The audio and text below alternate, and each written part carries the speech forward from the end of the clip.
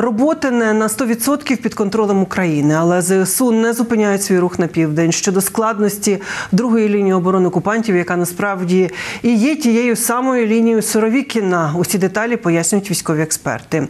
Про досвід війни вдовго від Ізраїлю. е, Нова заява Зеленського про дроногеноцид кримських окупантів і кадирівців на Запоріжжі. А ще приємна новина про українського маршала, якого в честь свята Дня Незалежності зробили генералом. Події 551-го дня Великої війни з Росією у матеріалі Олексія Пасака.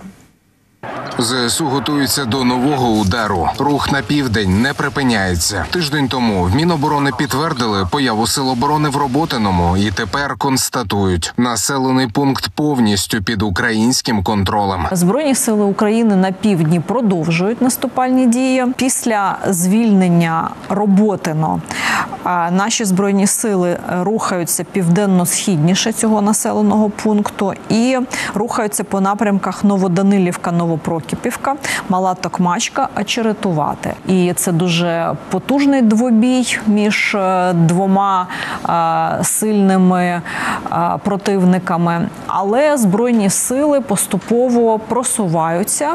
Ворог е, натомість е, не просувається. Прорив першої лінії оборони ворога на Запоріжжі збурив як експертів, так і пересічних глядачів. У разі успішного наступу відкривається дорога на Токмак, а потім і підготовка плацдарму для руху на Бердянськ чи Мелітополь. Утім, у військовому порталі Defense Express п'ятому каналу зауважили ті самі бетонні пірамідки імені зниклого генерала Суровікіна ще попереду. А поки що ЗСУ пройшли лише фактично лінію забезпечення оборони окупантів. Тож наскільки міцно росіянам вдасться триматися за бетонні укріплення, прогнозувати важко. От він уже схожий дивує критиків контрнаступ наш. Тільки на в районі Новопрокопівки Очеретуватого ці проходять ці дві лінії лінії е, ну цих фортифікацій Суровікіна, так званих.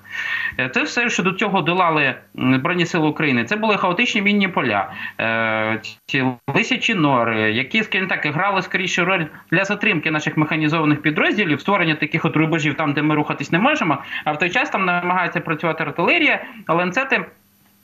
І ну там ті самі армійські вертольоти. І сам факт того, що нарешті вдалося прорвати ну пройти цю 30 кілометрову зону, так звану цю лінію забезпечення, яка ну яку росіяни намагались використати, щоб затримати наші війська, і використали в чомусь невдалому.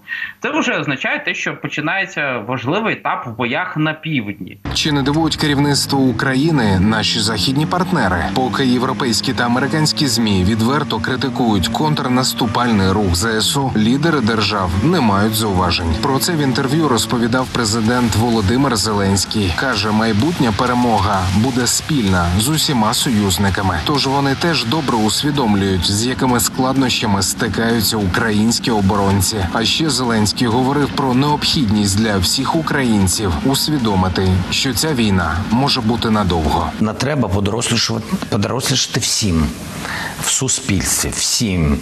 Вибачте, від дітей до, до, до, до літніх людей. Нам потрібно навчитися з цим жити, просто навчитися. Ми готові воювати вдовго. Ізраїль воює.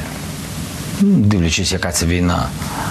Ми готові воювати вдовго, не втрачаючи людей. Ось так може бути. Ну, мінімізувати жертви. Як з перекладом Ізраїля я сказав, можна так жити, можна. А ще Зеленський знову повторив стару тезу: Крим може бути звільнений Росією добровільно, без військового втручання. Ці слова дублює і радник голови офісу президента Михайло Подоляк. каже, Україні буде нелегко, але вважати, що кожен відвойований кілометр нашої території обов'язково буде сплачений кров'ю, теж не варто. І з появою ЗСУ на кримських адмінкордонах усе закінчиться швидко, так само як і почалося. А поки що в Криму закінчуються окупанти та їхні бази. В силах спеціальних операцій повідомили деталі атак по росіянах у перевальному. кажуть, використали кілька ударних дронів і навіть показали, які вони, попри складний кримський рельєф, безпілотники досягли цілей і знищили об'єкти 126-ї російської бригади берегової охорони. А інші дрони вже від гур прямують до загарбників на тимчасово окупованому Запоріжжі. У день незалежності України один із fpv безпілотників влетів просто у вікно помешкання колаборанта. За день до цього такі самі дрони завітали на зустріч до штабу ФСБ в Енергодарі. Ну а вже нині, у понеділок, оператори навели безпілотне камікадзе в казарму кадирівців в тому ж Енергодарі. Жертв серед цивільних немає. Бійцям Ахмат-Чаю так не пощастило. Сили оборони України можуть дивувати. Лише у нас полковник поліції з позивним маршал може стати генералом. Йдеться про 37-річного Євгена Жукова, який боронив Україну від окупантів ще від часів АТО, і добре запам'ятався своїми пророчими словами весни 2022-го, які максимально доступно пояснюють, як саме російське військо втратило свій уявний статус другої армії світу. И, получается, зашли, а, поснимали видеоролики, ему там это докладывал, какой флаг бросил наш там. Вот, поставил свой, все, Ахмат Сила. И где они сейчас в Киевской области? Их нет. Почему? Потому что получили пизды. Вот и всё.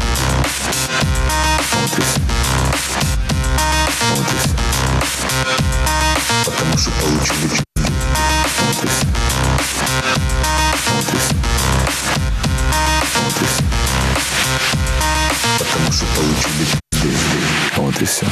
Олексій Пасак, п'ятий канал.